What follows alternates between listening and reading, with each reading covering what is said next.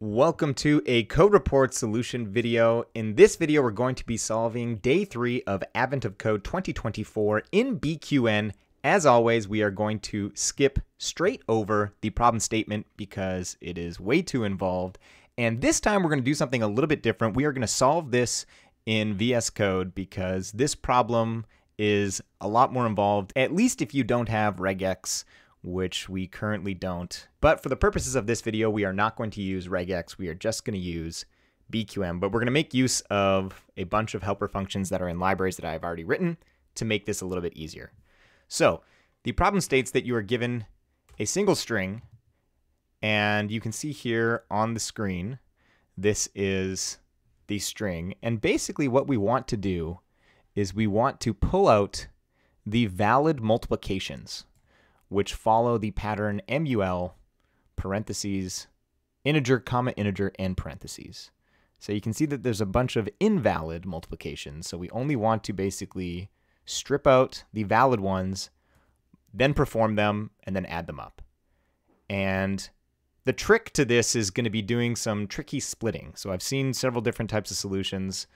The way that I solved this was the following. The first thing we're going to do is we are going to split on the mul and the first parentheses. So if we do this, come back here, you can now see that we've split our string into substrings that have been delimited by the MUL parentheses. The next thing we want to do is we want to split again based on the right parentheses. So we're going to bind this to another split function and then we're going to perform this over each of our strings in our list from the first split. So if we do this now, we've got a nested list where the inner lists are lists of strings that have been split based on that parentheses. And so now if we flatten this, and I think we're going to need a nothing there because we're doing this tacitly, we're now going to no longer have a nested list. We just have a list of strings that are going to include the comma separated integers that we want. And so now we just need to make sure that when we see a comma that there's only two integers there because we technically could have more than two integers. So figure out which ones are valid, convert those, multiply them, sum them up. So let's, because we're going to need this for part B, put this in a function, also called split, not in the namespace though, and put this back here, actually call this split. So now we got that working. And now we're going to build up a function called prod for product. Set that to the identity first.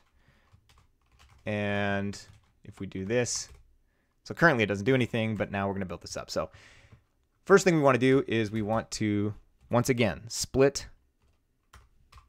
based on the comma. So now if we do this, we are going to have split any of the pairs of integers or more integers or anything that has a comma in it, technically. And then we need to do two checks. The first check is, are there two strings in this list of strings that we've just split? So if we do this now, we're going to have at least uh, a Boolean mask that matches only one comma being in the strings. But this is not enough to get the validity of things we need to multiply. The next thing we need to do, and we'll turn this into a fork, so we'll do our pair with identity trick to get the next thing we want to do, is we want to check if these are valid integers. Technically natural numbers, because there are no negative integers here, at least in the test case. And we have a is natural number. And now we just want to check are both of them. So we want to do an logical and reduction.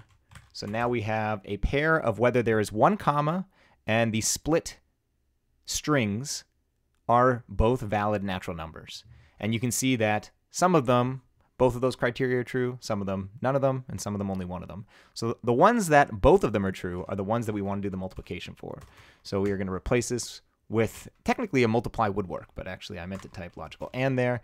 And now with this fork, we can combine this with choose, which is going to basically say when the predicate or expression on the left evaluates true, uh, grab something from the first index and when false, grab something from the uh, second index, technically reverse, zeroth index and first index. So when it's false, we just want zero. When it is true, we want the multiplication reduction of the integers, which we can get by calling the system BQN function over our strings, which we know are valid integers now. So if I typed this correctly, we should now have all of the integers that we need to sum up, which means that the only thing we need to do in order to get this to work now is add a plus reduction with a nothing, and we now have part A working. So that wasn't too bad, but depending on how you solved part A, part B is going to be either easy or difficult. So part B, a little bit irritatingly, gives you a, a different test input. It's not typical for of Code to do that. And you can see now that we've got these don'ts and do's. And basically, what you have to do here is ignore anything preceded by a don't that isn't, you know, turned on. So basically, this turns off some summing and the do turns back on summing. So you're going to end up with a mask that you could get by doing something like a scan that is going to filter out some of the numbers that you summed up. And so this is where the splitting trick that we did at the beginning is going to come in handy because based on the way that we split it, if we bring this up now, you'll note that because we split on the right parentheses after splitting on the mul, every time we encounter a don't or a do, it's going to be at the end of one of our substrings or our strings within our list. And we can take advantage of this property by the following. So this is going to be a little bit more of a verbose function. So we're going to split this onto multiple lines.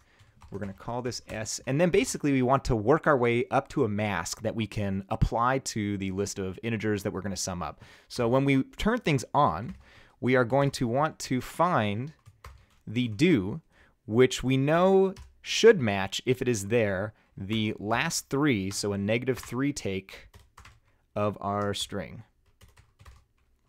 Each of our strings in our list. So we need to each this over S.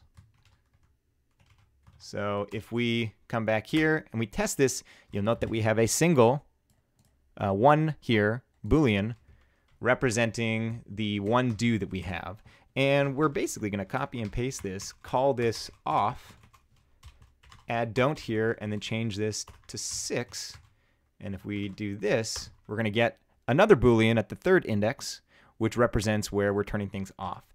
And so now if we go on minus off, we're going to have a list of ones and negative ones that we can use to build up this mask. Your first assumption might be to do something like a not equal scan, but in this case, that's actually not going to work because it's not guaranteed that the don'ts and do's just toggle one to one. You could have multiple don'ts and multiple do's in the same order or in a row, and that would mean the not equal scan trick wouldn't work. So what we have to do is first thing we need to do is we need to add a 1 to the front.